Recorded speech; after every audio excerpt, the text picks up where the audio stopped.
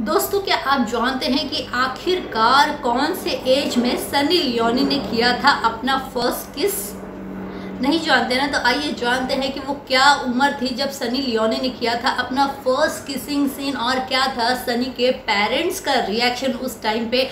और कैसे इंडस्ट्री छोड़कर बॉलीवुड अपने कदम जमाए। सनी लियोनी ने क्या है सनी के करियर की पीछे की पूरी कहानी? आइए जानते हैं। नमस्कार दोस्तों मैं हूँ काजल सिंह और आप सभी का स्वागत करती हूँ आपके अपने चैनल में। वेल well, दोस्तों सनी लियोनी जिन्हें आज हम बॉलीवुड के one of the most versatile actors में से गिनती करते हैं एक टाइम पे पॉन वर्ल्ड की सनी लियोनी जो है क्वीन हुआ करती थी। सनी ने अपना करियर जो है काफ़ी स्ट्रगलिंग पीरियड से शुरू किया था। सनी की लाइफ काफ़ी जो है इंटरेस्टिंग है क्योंकि सनी ने जो है बहुत ही अलग फ़ील्ड चूज़ किया लेकिन इस फ़ील्ड में भी सनी ने झंडे गाड़े थे। वेल 11 साल की थी सनी लियोनी जब से उन्होंने इंडस्ट्री में अपने कदम जमाए थे। वेल well, मैं आपको बताना चाहती हूँ कि सनी लियोनी का कल था हैप्पी वाला बर्थडे सनी ने अपना फोर्टी हैप्पी बर्थडे सेलिब्रेट किया और साथ ही साथ अपने स्ट्रगलिंग के कुछ किस्से भी उन्होंने एक वेब पोर्टल को सुनाए। सनी लियोनी का जन्म जो है कनाडा में हुआ था। सनी लियोनी का असली नाम जो है करणजीत कौर बोरा है। जी हाँ पंजाबी फैमिली से सनी लियोनी बिलोंग करती थी लेकिन उनके पेरेंट्स जो है कनाडा शिफ्ट हो गए थे। कनाडा के बाद अमेरिका शिफ्ट हुए जिसके बाद सनी की आगे की पढ़ाई जो है अमेरिका में भी हुई।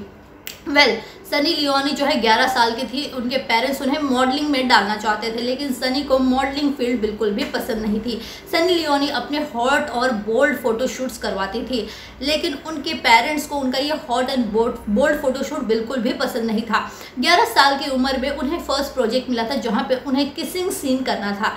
वेल well, पहले तो सनी के पेरेंट्स नहीं माने लेकिन फिर बाद में सनी ने जिद कर ली कि नहीं मैं ये किसिंग सीन करूँगी।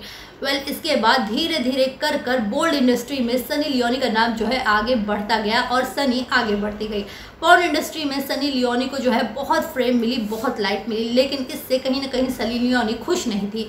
2011 में उनके करियर में एक मोड़ आया, जब उन्हें बिग बॉस सीज़न नौ ऑफ़र हुआ। सनी लियोनी ने बिना कुछ सोचे समझे इस सीज़न को हामी बोल दिया, यानी कि इस सीज़न में हिस्सा लेने के लिए हाँ बोल दिया। सनी लियोनी इंडिया आई, उन्होंने बिग बॉस में अपने कदम जमाए और वो काफ़ी सुपरहिट रही। इसके बाद सनी लियोनी ने पीछे मुड़कर कभी नहीं देखा। महेश भट्ट खुद सनी लियोनी के घर जाकर उन्हें जिसम टू फ़िल्म ऑफ़र किए थे।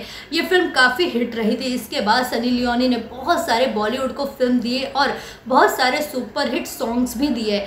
बेबी डॉल हो या फिर लैला में लैला हो, हर एक गाने में सनी ने अपने मूविंग स्टाइल अपने डांसिंग स्टाइल अपने बॉडी स्ट्रक्चर से लोगों का ध्यान अपनी तरफ़ आकर्षित किया है। आज भले ही सनी लियोनी ने इंडस्ट्री छोड़ दी है और बॉलीवुड में वो अपने सक्सेस के साथ जी रही हैं, लेकिन फिर भी उनका नाम कहीं ना कहीं इंडस्ट्री में आज भी सबसे नंबर वन पर है। सनी लियोनी के मैरिड लाइफ की अगर हम बात करें तो सनी अपने मैरिड लाइफ में काफ़ी खुश है। उनके तीन बच्चे हैं, जिसमें से दो बच्चों को उन्होंने गोद लिया है और एक उनका सर्जियन बेटा है। वेल well, सनी लियोनी आज अपने करियर में काफ़ी आगे हैं लेकिन उनकी जो लाइफ है कहीं ना कहीं पहले काफ़ी मुसीबतों से काफ़ी दिक्कतों से भरी हुई थी। तो ये थी दोस्तों सनी लियोनी की छोटी सी जर्नी कमेंट सेक्शन में कमेंट करके बताइए सनी लियोनी की कौन सी फ़िल्म आपकी सबसे ज़्यादा फेवरेट है। और अगर अभी तक आपने हमारे चैनल को सब्सक्राइब नहीं किया है तो जल्दी से कर दीजिए ताकि जितनी भी लेटेस्ट अपडेट है मैं आप तक सबसे पहले पहुँचाती रहूँगी। और अगर आप ये वीडियो फेसबुक पर देख रहे हैं तो हमारे पेज को लाइक एंड फॉलो करें। Thank you so much for watching my video